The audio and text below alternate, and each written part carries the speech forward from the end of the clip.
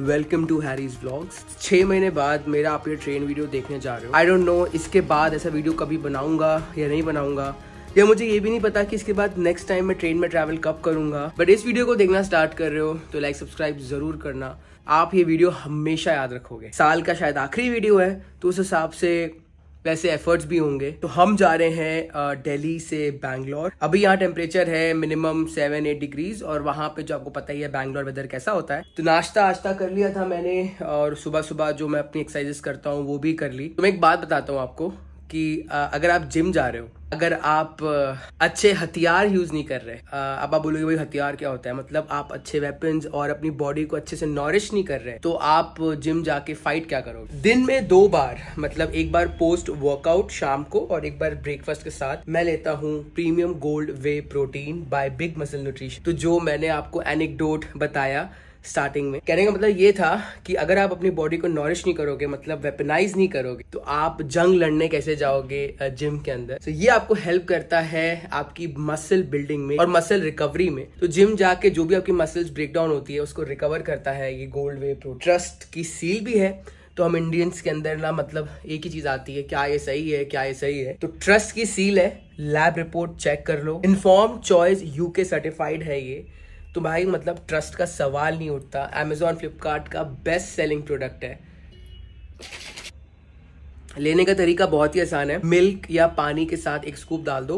Shaker में mix कर लो, बहुत अच्छी मिक्सिबिलिटी है। तो ये protein pro hydrolase enzyme technology के साथ आता है। बेसिकली ये जो टेक्नोलॉजी है, ये इसको डिफर करती है कोई भी प्रोडक्ट से। आपकी बॉडी के हर एक पार्ट तक पहुँचता है। अच्छे से ऑब्ज़र्व होता है आपकी बॉडी में, जो हेल्प करता है आपकी लीन मसल बिल्डिंग में। लिंक आ रहा होगा डिस्क्रिप्शन में, जाके परचेज कर लो। Premium gold whey protein by big muscle nutrition और अपनी लाइफ को ट्रांसफॉर्म करो। ये है हमारी देश की राजधानी नई दिल्ली। और आज मैं नई दिल्ली से जा रहा हूँ, बैंगलोर। लगभग चौंतीस घंटे का सफ़र है ये। चौंतीस घंटे बाद हम पहुँचेंगे कर्नाटका की राजधानी बैंगलोर में, जो कि इंडिया का आईटी हब भी माना जाता है। बेंगलुरु। बेंगलुरु बोल लो या बैंगलोर बोल लो, पुराने लोग बैंगलोर ही कहेंगे, वो बदलते नहीं और नई जनरेशन बेंगलुरु बोलती है। मैं आ जाता हूँ दो घंटा पहले, जो कि मेरी आदत शुरू से है जल्दी पहुँचने की। और जाते साथ सीधा लाउंज में जाता हूँ। क्रिबिंग से हट के मैं आपको बताना चाहता हूँ कि यहाँ पे स्नैक बार भी होता है और चाय के अच्छे अच्छे ऑप्शंस होते हैं। क्योंकि ठंडी आ गई हैं तो चाय के बिना काम चलने वाला है नहीं। मैं ले लेता हूँ एक छोटी सी चुस्की चाय की इस जर्नी से पहले। और भाई, मज़ा आ जाती है। छः महीने बाद ट्रैवल कर रहा हूँ। बहुत एक्साइटेड हूँ। अभी काफ़ी ठंड है। Towards north of India south में होगी मतलब गर्मी थोड़ी सी पर Bangalore weather as you know हमेशा अच्छा ही रहता है। लाउंज का एक्सपीरियंस बढ़िया था, सिर्फ़ बाथरूम छोड़ के, और बैठने की जगह भी नहीं थी।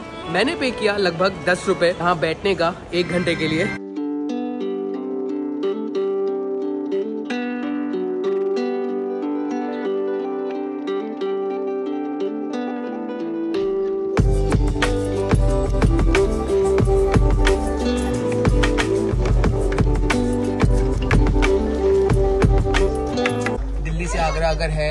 दो हज़ार। तो आपसे लेगा चार हज़ार।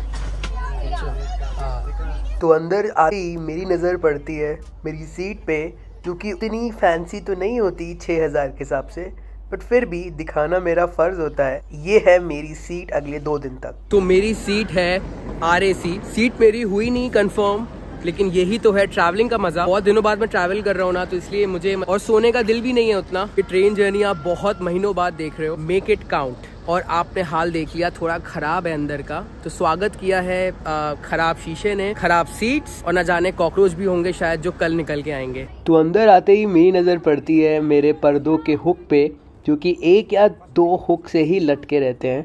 न जाने कब ये गिर जाएँ अगले दिन की धूप तो रोकने में कामयाबी रहते हैं। वॉशरूम की हालत ठीक ही है अब भी अभी साफ़ किया है वरना गंदा था काफ़ी स्मेल बहुत गंदी है। तो ट्रेन हमारी निकल चुकी है, पर कोई आया नहीं है। सीट के अलावा ब्लैंकेट्स भी होती हैं, जो कि ऑलरेडी रखी रहती हैं। इसके अलावा हमारा खाना रहता है, जिसके लिए मैं सबसे ज़्यादा एक्साइटेड रहता हूँ, और ये है हमारा खूबसूरत सा वॉश बेसिन और वॉशरूम कल सुबह नॉन वेज ये आपको एवरी ट्वेंटी फोर आवर्स मिलती है। 24 फोर आवर्स या 12 आवर्स हिसाब से ही मिलती है बेडशीट ऐसा नहीं है कि भर भर के जितनी चाहो ले लो। लिख रहे हैं और तब दे रहे हैं। तो मेरी दूसरी आर है।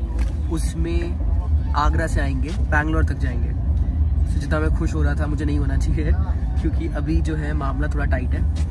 हालाँकि अगर आर में जा रहे हो तो खाना मिलता है। ट्रेन में आप जर्नी करो और बच्चों को इग्नोर कर दो ऐसा कैसे हो सकता है?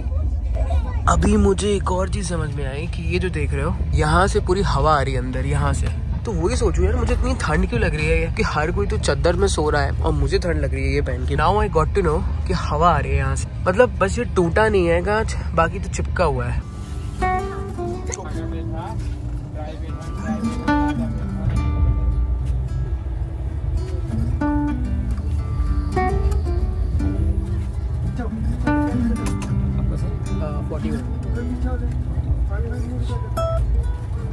So I've met a new friend, Ashish from US.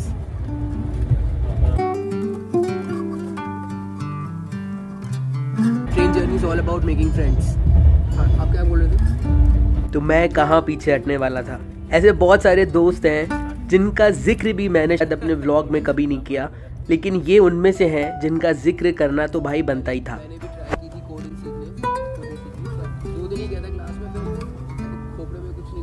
इनका बैक लग गया था इनके कॉलेज में। उसके बाद भी इन्होंने हार नहीं मानी कोडिंग सीखी जॉब लेने के लिए। कोडिंग सीखने के बाद टेक महिंद्रा को रिजेक्ट किया और he got place in some small company हाँ in small company but that was excellent for him क्योंकि उसने उनकी लाइफ चेंज कर दी। दैट वर्क सो कई बार स्टार्टअप में भी काम करना अच्छा रहता है क्योंकि स्टार्टअप में आपको आगे चल के बहुत ज़्यादा एक प्रायोरिटी मिलती है। मुझे ये चीज़ पसंद है then you can get into that side of the exactly दिखने में तो बढ़िया है। भाई आधा भरा है इसको आधा। ये इस पनीर तो दिख नहीं रहा है ग्रेवी दिख रही है पर शायद पनीर है आलू bean. Well now it's time to have food but इसमें नमक नहीं होता है। तो बिना नमक वाला खाना खा के मैं सुनता हूँ साउंड इफ़ेक्ट उस छोटे से बच्चे का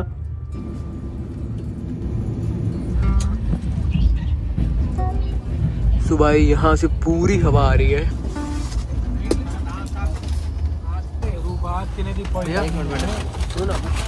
कांच टूटा हुआ है हवा अंदर आ रही है। वाला है ना? भैया ये देख लो यार हवा अंदर आ रही है यहाँ से कुछ करो। ये आपको भेजते हैं आपकी सीट पे। कितना सीट नंबर है आपका? फोर्टी वन ठंड लग रहा है बहुत बहुत ठंड लग रहा है। हवा है ना? आ रहा आ रहा है यहाँ से आएगा यहाँ से आ रहा है यहाँ से यहाँ से यहाँ से ओपन हो गई ना हाँ। आने के समय में डैमेज हो गई। उधर से ग्लास नहीं था। हाँ। इसके लिए टेप लगा के रखा है। सो so, एक चीज़ बढ़िया हुई कि उन्होंने एक्सेप्ट किया कि पूरा लीकेज है इधर। बाहर की हवा आ रही है पूरी अंदर। एक्सेप्ट किया that was important by the way IRCTC पे जाके आप अगर ये कंप्लेन करते हो कि सीट खराब थी या फॉल्टी थी या टूटी हुई थी तो आपको रिफंड भी मिल जाता है।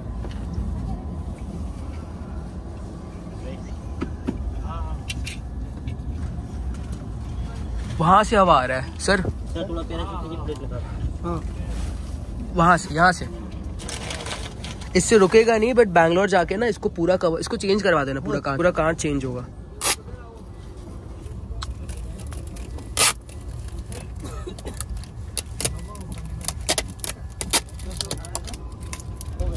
आगरा आते ही ठंड का एहसास जो होता है थोड़ा बढ़ जाता है और ये इतना सारा रश देख के मुझे लगता है न जाने ये लोग कहाँ ही जा रहे होंगे। मैं आ जाता हूँ अंदर और ये ब्लैंकेट ओढ़ के थोड़ा सोने की कोशिश करता हूँ। लेकिन उसी वक्त पैंट्री वाले भैया हमारे लिए ले आते हैं चाय जो कि चीज़ों को और बहुत ही खास बना देता है?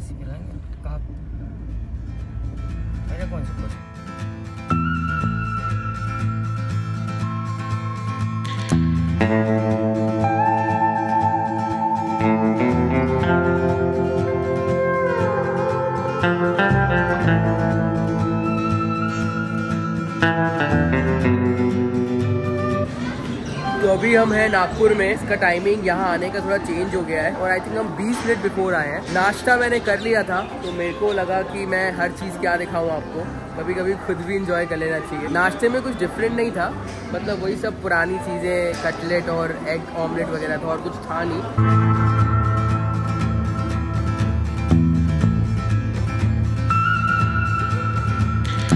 ट्रेन के अंदर ना कुछ कांच वगैरह या कुछ लीकेज था।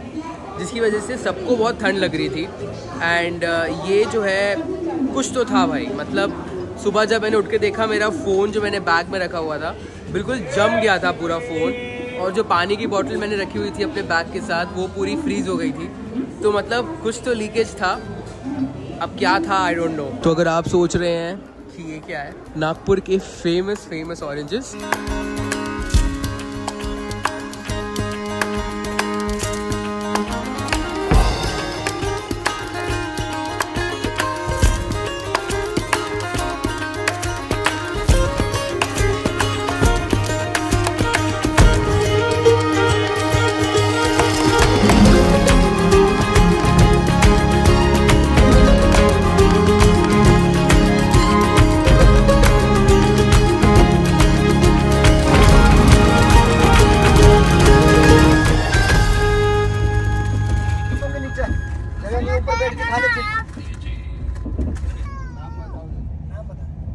मैं सोने की कोशिश तो ज़रूर करता हूँ, लेकिन ऐसा संभव हो नहीं पाता है। क्योंकि जो बच्चे होते हैं, वो मन के होते हैं, बहुत ही सच्चे।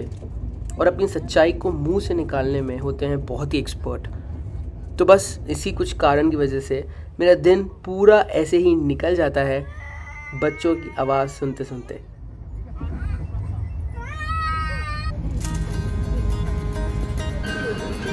सुबह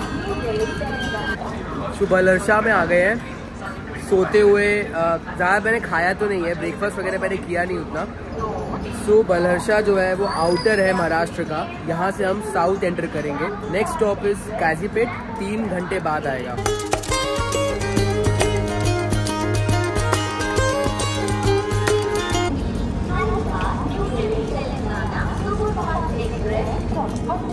रेलोफाई ऐप से करना पड़ता है क्या खाना ऑर्डर फ़ूड ट्रैक ऐप है ना फ़ूड ट्रैक से फ़ूड ट्रैक से भी रेलोफाई का भी ऐप है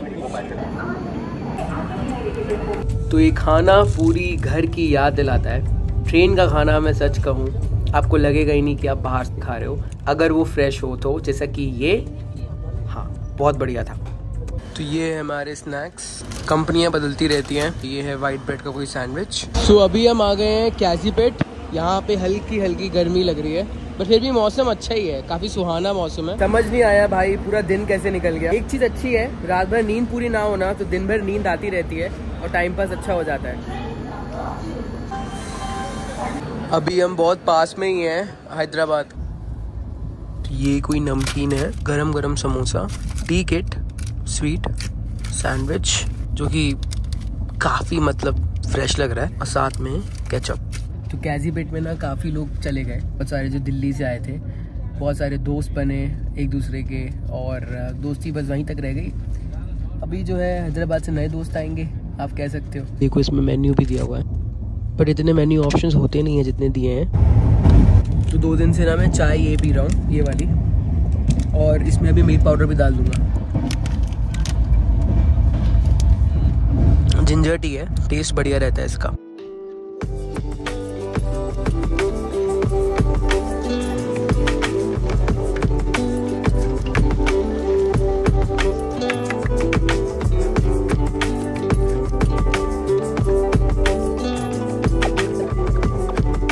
We are in finally Hyderabad और यहाँ पे ना पूरी ट्रेन खाली होने वाली है और भर भी जाएगी।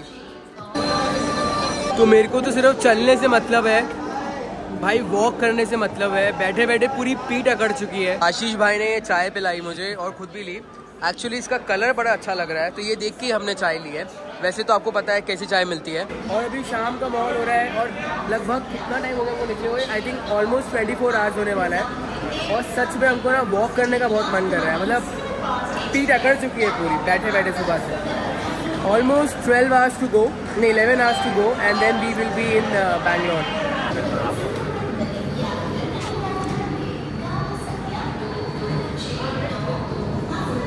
ये चेन पुलिंग कर दी। एक्चुअली ये आई लेट और निकल रही थी like within five ten minutes का भी स्टॉप नहीं है। वैसे तो पंद्रह मिनट का होता है, लेकिन अभी क्योंकि लेट आई तो बस पाँच मिनट में चल पड़ी। इसलिए हो सकता है कई लोग बाहर चले गए हो, सोच के कि भाई आधा घंटा रुकी। तो हाँ उन्होंने खिंचवा दी हो, पता नहीं कुछ बोल के। तो ये आखिरी मील आ चुकी है। ये टॉवल मैंने रखा हुआ है अपने खाने के लिए, ताकि सीट पे खाना ना गिरे। सोते वक्त प्रॉब्लम होगी। तो देखते हैं भाई, ये लास्ट मील क्या है। सो अभी तक हमको दो डिनर आ चुके हैं। एक ब्रेकफास्ट एक लंच और एक स्नैक ठीक है टोटल छः मील आई हैं। कल सुबह कुछ नहीं पूछने वाले, बोलेंगे टाटा बाय बाय और ये है मेरा कूप कैप्सूल बोल सकते हो जिसको। और वहाँ पे मैंने लाइट चालू करके रखी है, ताकि रोशनी आती रहे। पनीर, दाल राइस और ये पराठे। तो हैदराबाद से खाना ना जनरली अच्छा ही चढ़ता है। तो ख़त्म करता हूँ में आपको बताता हूँ उसका टेस्ट कैसा है। एंड ये आलू की सब्ज़ी। सोने का टाइम वापस हो गया टाइम ऐसे बीत गया, समझ ही नहीं आया। पूरी जर्नी निकल गई और जो मेरे सामने वाले बच्चे हैं, वो चीखना कम नहीं कर रहे हैं। आपने देख लिया होगा कुछ कुछ क्लिप्स में। मतलब ट्रेन जर्नीज में ये होता है। शुरू शुरू में तो सब ठीक लगता है, लेकिन जब एक रात हो जाती है, दूसरी रात आती है ना तो एक अजीब सा अजीब सा कुछ लगने लगता है। मतलब मन करता है बाहर देखो, बाहर की हवा खाओ बिकॉज़ अंदर बैठे बैठे थोड़ी सफोकेशन तो हो जाती है।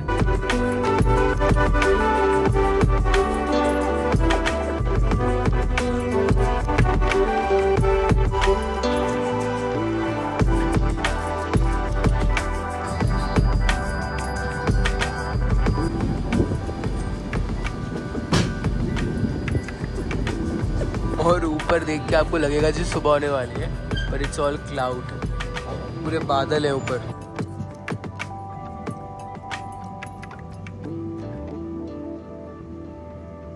आधी ट्रेन सो ही रही है, और भाई हम टाइम से आ गए बिकॉज़ बाहर ना अंदर रश हो जाता।